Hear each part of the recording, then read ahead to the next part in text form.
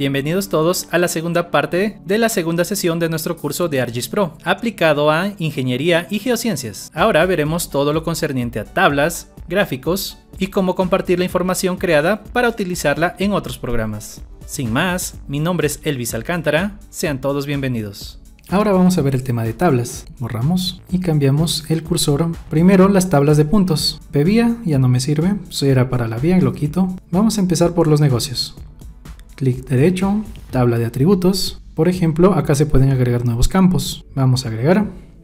¿Qué puedo agregar en puntos? Por ejemplo, sus coordenadas, este, norte. También lo puedo agregar en latitud y longitud. Al ser cálculos exactos con varios decimales va a ser doble. Flotante es cuando los decimales son pocos, menos de 6. En general, doble. Agrego. También puedo agregar propietario tipo texto. Puedo agregar su orden. Como es un número entero, va a ser corto. Fecha. También voy a agregar de apertura. Con contracciones está bien. Fecha AP.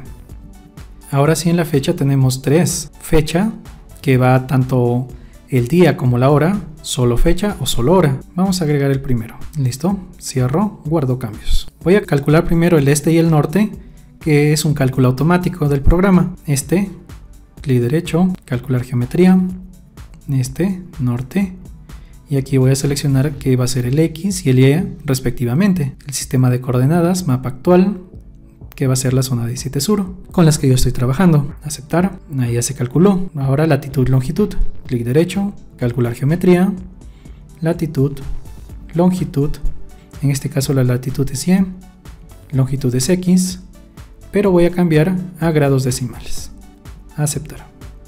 Propietario, por ejemplo, la empresa de transportes, voy a agregarlo, Juan Pérez, enter. Y Agrofer Cajamarca, María Flores, enter. El orden, por ejemplo, al primero 1, al segundo 2. La fecha de apertura, voy a dar doble clic, nos aparece un calendario, vamos a dar clic, por ejemplo, que se haya creado recientemente, el 1 de julio.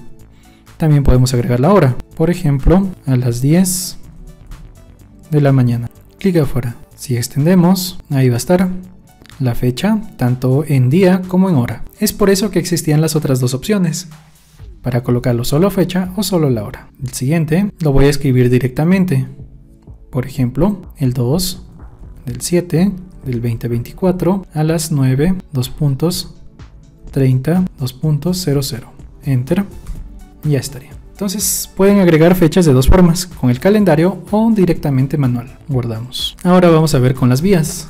Clic derecho, abrir. Miren, acá faltaba colocar un nombre, una trocha. Guardamos. Se puede apreciar que no podemos agregar nuevos campos, porque hay ediciones que no están guardadas. Entonces guardamos. ¿sí? Ahora sí podemos agregar nuevos campos. Agregar.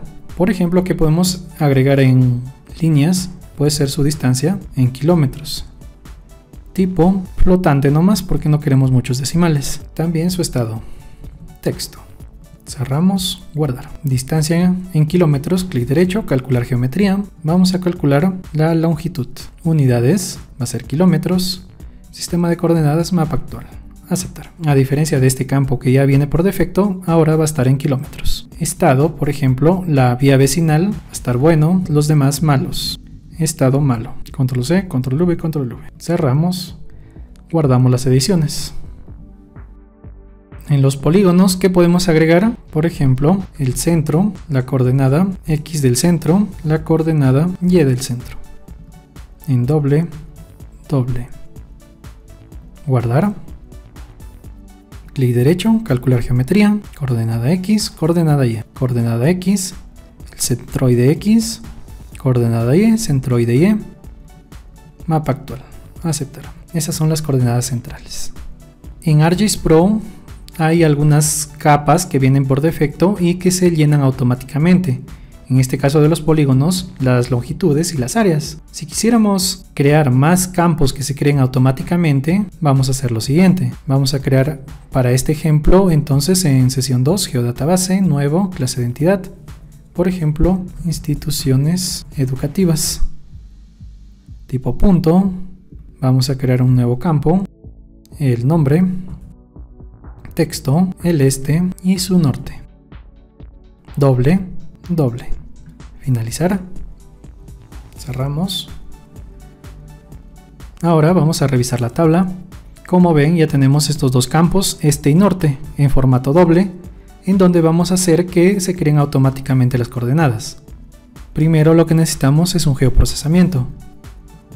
Aquí lo que vamos a agregar es agregar ID globales, clic, instituciones educativas, ejecutar. Listo. Miren, clic derecho, tabla de atributos. Ahora tenemos un Global ID que es necesario para este proceso. Cierro, clic derecho, diseño de datos, reglas de atributos. Añadir regla. La primera regla se va a llamar este, subtipo, todos. El campo se va a aplicar a este. Ahora en la expresión vamos a dar clic aquí. En este vamos a filtrar por geometría para buscar rápidamente geometría va a ser del este pero en general punto x aceptar cuando se va a crear este campo cuando se inserte o cuando se actualice listo. Vamos a añadir otra regla para el norte norte. Ahora simplemente voy a regresar al este. Voy a copiar esta expresión en norte.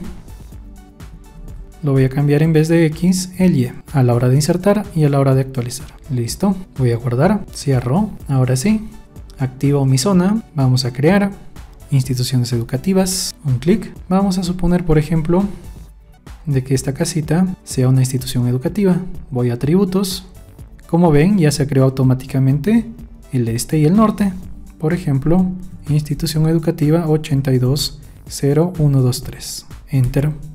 Ya estaría. Supongamos que esta casa también es una institución educativa. Voy a dar clic, ya se creó el este y el norte. Institución educativa Juan Pablo, por ejemplo. ¿Ven? Clic derecho, tabla de atributos. Ya tenemos automáticamente calculados el este y el norte. Cuales quieran los lugares que den clics, se van a crear nuevas entidades con el este y el norte automáticos. De igual manera, si es que lo editan, por ejemplo, editar vértices, y lo mueven a otro lugar este punto, lo dan clic en borrar, se va a actualizar esta coordenada. Guardar. Cerramos. Voy a activar las casas. Para este ejemplo tenemos 293 casas. Voy a activar para poder visualizar. Vamos a agregar por ejemplo el número de habitantes por casa de una manera aleatoria. Como aquí en ArcGIS es un poco complicado, vamos a hacerlo en el Excel. Simplemente en una hoja en blanco creen 1, 2 y van a ir hasta el número de entidades 293. Ahí está. Vamos a crear números igual, aleatorio entre inferior 0, superior 10. Cierro paréntesis, enter. Listo, miren, doble clic acá y se crean números aleatorios. Control C. Regreso al ArcGIS Pro, agrego un nuevo campo, habitantes. Como son números enteros, corto nomás cierro, guardar. Ahora doy clic en la primera casilla, control V. Y como ven, se han agregado todos estos campos. Guardo. Ahora voy a seleccionar por atributos. Por ejemplo, voy a agregar un nuevo campo que nos diga el tipo, texto, cierro, guardo. Voy a seleccionar aquí por atributos, donde los habitantes sean mayor o igual que 5. Aceptar, ya está. Ahora sí, en tipo Voy a calcular campo, que estas viviendas sean de 5 más habitantes. Listo. Ahora seleccionar por atributos. Caso contrario, es menos que 5. Tipo va a ser de 5 a menos habitantes. Listo. Voy a agregar otro campo, por ejemplo, para casas vacías. Tipo texto, cierro guardar. Ahora voy a dar a seleccionar por atributos, donde los habitantes sean iguales que 0, ahí está. Hay 27 en mi caso. Clic derecho, calcular campo. Estas van a ser sí. En este caso otra forma de calcular los campos que me faltan es invertir selección. Ahora están seleccionadas las otras entidades. Clic derecho, campo, no. Listo borramos la selección. Para ordenar estos, estas casillas lo pueden hacer un clic derecho en el título y ubicarlas donde quieran. Es fácil. Ahora vamos a hacer el ejemplo de uniones y relaciones. En el Excel vamos a ir al inicio. Primero, insertar. Voy a colocar aquí el número. Estos son números aleatorios del ejercicio anterior. Los voy a transformar en números ordinarios. Control Shift, flecha de abajo, Control C, regreso arriba, clic derecho en la parte de arriba, pegar valores. Ahora son números inamovibles. Una columna de techo. Si esta es menor que 5, va a ser calamina. Caso contrario, cierro comillas. Caso contrario va a ser teja. Cierro todo. Listo. Doble clic acá. Control C. Clic derecho. Pegará. Listo. De igual manera pueden crear cuantos campos quieran para el ejemplo. Este caso es suficiente y no me voy a guiar por este número, sino por su número de casa. Voy a cerrar, eliminar. Ahora sí, archivo, guardar como, examinar. Busquen su carpeta de trabajo. En mi caso escritorio, sesión 2. Lo voy a guardar como techo, formato, directo CSV delimitado por comas. Guardar, cierro. Ahora voy a cerrar acá. En casas voy a dar clic derecho, uniones y relaciones, agregar unión. En campo de entrada va a ser el número. Voy a buscar en dónde se encuentra este archivo. En sesión 2, actualizamos, techo, aceptar. Con el campo también va a ser número. En ambos casos son iguales. aceptar. Ahora doy clic derecho, tabla de atributos. Y ya tenemos más campos. El número y el techo que vienen del archivo Excel. Sin embargo, estos no son archivos definitivos son solo de paso. Si quisiéramos eliminar por X motivos, lo podemos dar clic aquí, uniones y relaciones, quitar todas las uniones. Caso contrario, si quisiéramos que se queden para siempre, estos campos, clic derecho, datos, exportar entidades. Voy a buscar mi geodatabase S2, casas F, guardar, finalizar. Ahora sí, quito las casas anteriores.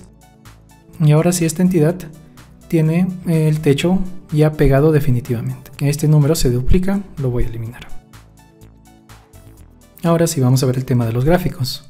Miren, clic derecho, crear gráfico. Podemos crear un gráfico de barras. En este caso vamos a seleccionar el techo. En agregación, como simplemente son textos, vamos a dejarlo por calcular. Aquí vamos a agregar las etiquetas. Y como pueden ver tenemos 140 de calamina y 153 de teja en mi caso. También lo puedo dividir por algún campo adicional. Miren, por ejemplo, si es que están vacías o no. Activamos y ahora podemos ver dentro de las que son vacías, sí, hay 10 que son de teja y 10 de calamina. Y las que no están vacías, 143 de teja, 123 de calamina. Pueden exportarlo de igual manera estos gráficos, como gráfico, como tabla o como captura al portapapeles. Por ejemplo, captura portapapeles y en un documento Word lo pueden pegar. Esa es una vista rápida de los gráficos dentro de ArcGIS. Para eliminar este gráfico, simplemente clic derecho y eliminar. Ahora vamos a ver el tema de las selecciones. Por ejemplo, me gustaría seleccionar las viviendas que se encuentran dentro de este polígono de geología. ¿Cómo lo hago?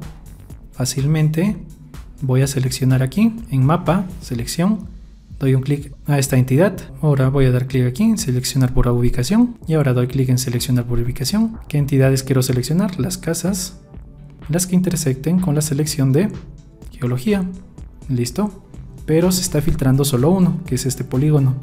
Aceptar. Ahora desactivo geología y como pueden ver se puede seleccionar de esa manera solo las casas que estén dentro de ese polígono. Borrar. De igual manera se puede seleccionar por atributos seleccionar por atributos, nueva selección, donde, por ejemplo, las casas estén vacías, ¿sí? Aceptar. Esas son las casas vacías. ¿Y para qué me sirve seleccionar por ese atributo? Por ejemplo, porque lo puedo exportar, datos, exportar entidades, y solo vamos a crear un atributo de casas vacías. Guardar, aceptar. Borramos. Y ahora tenemos una nueva entidad con solo casas vacías. La selección por atributos también se puede hacer dentro de la misma entidad, con un filtro. Miren, clic derecho, propiedades, consulta de definición. Nueva consulta de definición, solo quiero que se vean las casas vacías. Aplicar, aceptar. Ahora solo se van a visualizar las casas vacías y también en la tabla de atributos las casas vacías. Para borrar ese filtro, de igual manera, propiedades, eliminar. ¿sí? aceptar. Listo. Solo era algo visual. Para finalizar esta sesión vamos a ver el tema de exportar. Por ejemplo, la zona lo quiero exportar a KML para poder visualizarlo en el Google Air Pro. Para ello voy a geoprocesamientos, voy a buscar a KML de capa KML. Tal y como lo ven, así se va a exportar con un cuadrado negro. Lo voy a seleccionar, clic sostenido hasta acá, donde se va a guardar en sesión 2, no hay problema. Zona, guardar, ejecutar. Ya está. Y ahora en mi carpeta de trabajo ya tengo un KMZ de la zona. Puedo darle doble clic. Si tengo instalado el Google Air Pro, se va a abrir. Ahí está, mi zona. Lo puedo personalizar para que se vea un poco más. Ahí está. Ya lo puedo utilizar en el Google Air Pro. Si quiero transformarlo a CAD para poder utilizarlo en el AutoCAD, acá lo escribo en geoprocesamiento a CAD exportar a CAD. No solo puedo exportar la zona, sino también por ejemplo las casas, las vías y los drenajes. Archivo de salida, donde estoy trabajando, zona, guardar. ¿Qué versión? Puede ser DWG o también DXF. En este caso DWG está bien. Ejecutar. Ahora ya tengo este archivo DWG. Lo abro. Continuar. Ya lo tendría mis archivos en CAT con las coordenadas de la zona. Finalmente, otro archivo común es el mismo shapefile, para poder abrirlo en el ArcGIS Desktop si alguien todavía te lo pide. Vamos a catálogo, dentro de S2 voy a crear una nueva carpeta, porque ya sabemos que cuando creamos un shapefile se crean varios archivos adicionales. Shapefile, por ejemplo, solo de las casas. Ahora, casas F, clic derecho, datos, exportar entidades. Aquí, en la segunda parte donde se va a exportar, voy a buscar mis carpetas, S2, he creado acá SHP de casas y casas. Lo voy a guardar con ese nombre. Ahora ya ven que se está guardando como una extensión SHP. Aceptar, se crea, se agrega también acá, no lo quiero, quiero quitarlo. Ahora voy a donde se ha creado, dentro de mi carpeta de proyecto, SHP casas, ahí están todos los archivos de un shapefile. También puedo crear el shapefile de todas las herramientas a la vez, no uno por uno. ¿Cómo así? Clic derecho en mi carpeta de trabajo, nuevo, carpeta, SHP, total, enter.